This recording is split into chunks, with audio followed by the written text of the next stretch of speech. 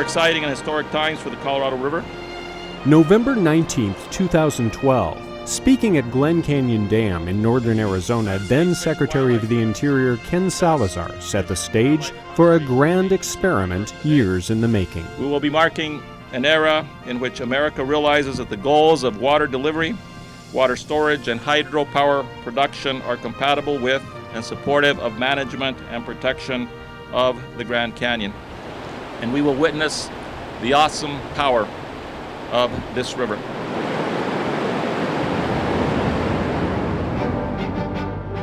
With the pull of a lever, Salazar released a torrent of water from giant pipes near the base of the dam. The water will increase until a maximum release of approximately 42,300 cubic feet per second is reached. That's more than four times faster than the river was running just days before this high flow experiment began.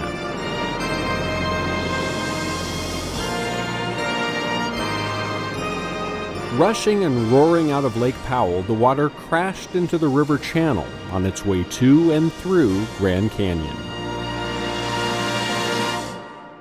We didn't always recognize that these high flow events, these pulse flows, were beneficial to the river environment downstream.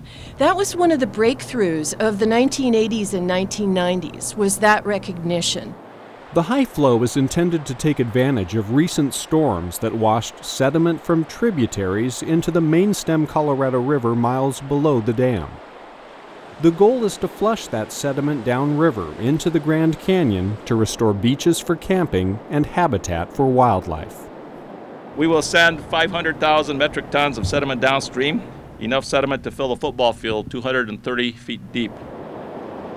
Sediment distribution wasn't an issue here before the mid 1960s. That's when Glen Canyon Dam started storing water and producing power for growing western states like Arizona. And it's created a huge recreation economy around Lake Powell, the Lee's Ferry fishery, and the areas around the lake and the dam. But this dam has also unquestionably had adverse impacts. The lake traps the sediment that used to course down the river, that red sediment that gave this river its name. The regulation of flows has had an impact on vegetation, on beaches, on wildlife habitat. And the colder temperature of the water has altered the aquatic ecosystem. For better and for worse, Glen Canyon Dam changed the Colorado River. Something that was not completely understood at the time was this would become a cold, clear tailwater below this high dam. Cold, clear tailwaters at the time were viewed as unique opportunities to create tailwater trout fisheries. And as a result, one of the things that, that evolved from the creation of Glen Canyon Dam was the establishment of the tailwater trout fishery that we refer to as Lee's Ferry. It's a trophy trout fishery that spans the first 16 miles of river below Glen Canyon Dam. The Game and Fish Department has managed in partnership with the Park Service and with the Bureau of Reclamation this trout fishery since its inception. Now our interests in terms of the operation of the river have a lot to do with certainly the, the recreational draw that a tailwater trout fishery provides, but also the fish and wildlife habitat associated with the Colorado River in Glen Canyon and farther downstream in Grand Canyon. Arizona Game and Fish is especially interested in habitat about 62 river miles below Lee's Ferry. As you see the Little Colorado River entering into the main stem, just downstream of here uh, is is the largest aggregation of humpback chub in Grand Canyon. The humpback chub is an endangered native fish. It was on the federal government's very first list of endangered species back in 1967. It needed that protection after Glen Canyon Dam reset the thermostat on the Colorado River. The cold, clear water that courses through Glen Canyon Dam from the depths of Lake Powell is great for trout, but not so great for native fish like the humpback chub. You can really tell the size of the hump on this. It prefers warmer waters that existed before the dam when the Colorado River flowed freely. These native fish that adapted to warm water temperatures uh, now are living in a in an area, at least in the mainstem Colorado River, where it's much cooler than they're used to. And that can affect their growth, their reproduction, um, and just the ability for them to live. Monsters. Arizona Game and Fish, in partnership with the U.S. Geological Survey and the U.S. Fish and Wildlife Service, has been closely monitoring the status of the species since 1987.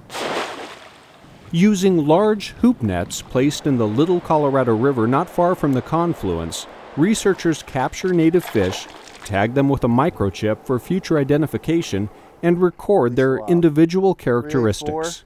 We can go back to our fish database and we're able to know the last time it's been caught and then also where it's moved from.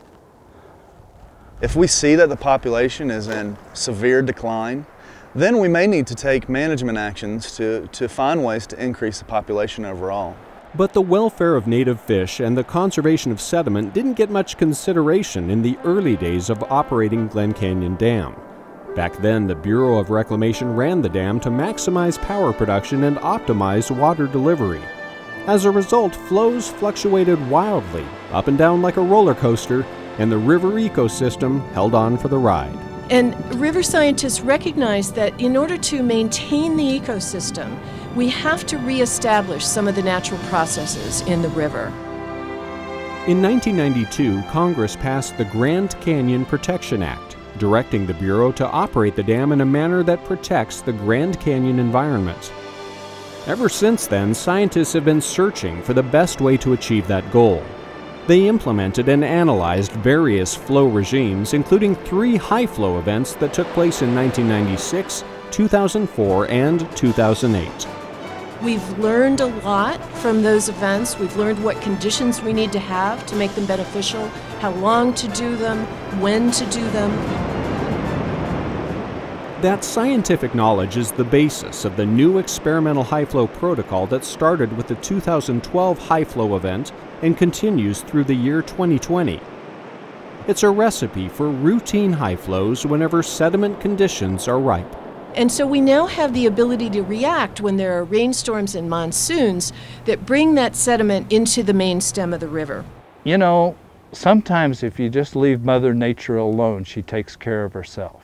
And I think that, you know, through all this manipulation and experimentation, that they can literally create more chaos than anything else, my personal opinion.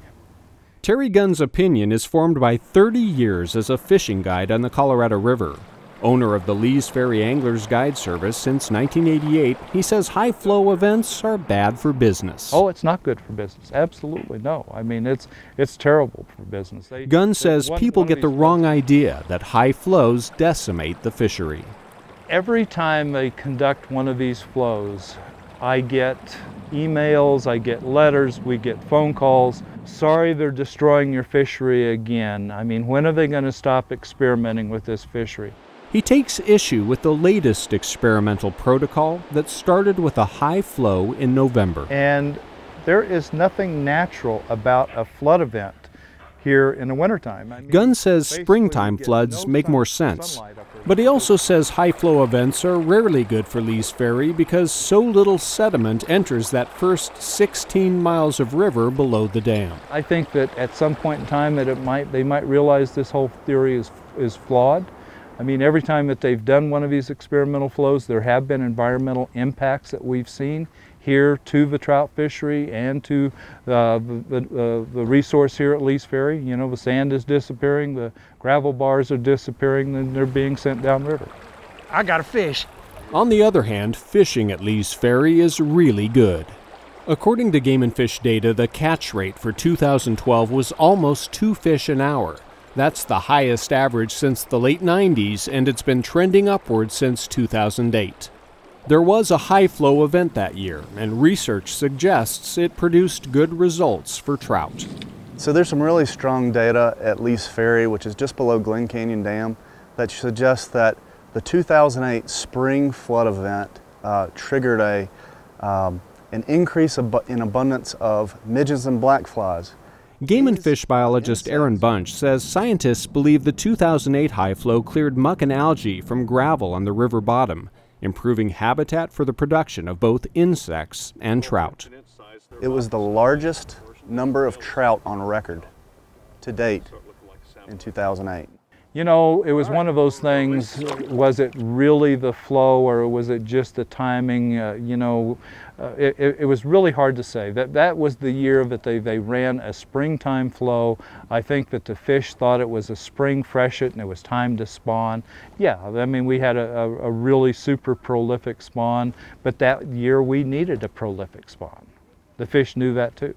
Whatever the reason, the trout population soared in 2008, resulting in more fish competing for food with the endangered humpback chub. Another humpback chub? One of the big looming questions out there is really what contribution does the rainbow trout population, how, how are they impacting humpback chub populations overall? For years, scientists have been concerned about non native trout preying on young native fish like the humpback chub. The good news is that as of 2013, the populations of both species are on the rise. The current humpback chub population is higher than it's been any time in decades. And, and the trout population, the rainbow trout population, both in uh, Glen Canyon and Marble Canyon, is also high. So that, that kind of tells me that the trout really isn't having much of an influence on the humpback chub uh, and their population. As a fisheries biologist, there's always a balancing act between um, creating recreational fisheries for sportsmen and maintaining and conserving important native fish populations. And that's probably the absolute hardest job that we have.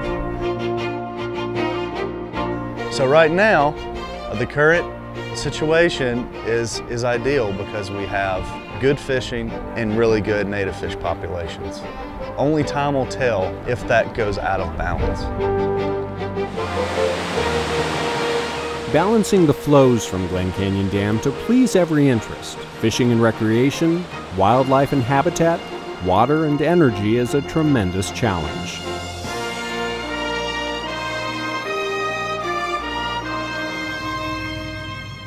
It's been said that a rising tide lifts all boats, but that's not necessarily true when it comes to the Colorado River.